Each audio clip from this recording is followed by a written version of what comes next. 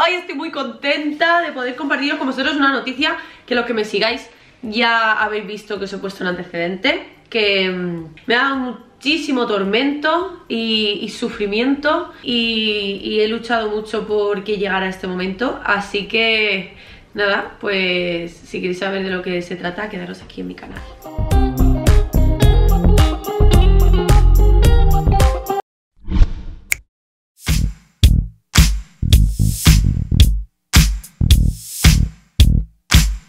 Shit.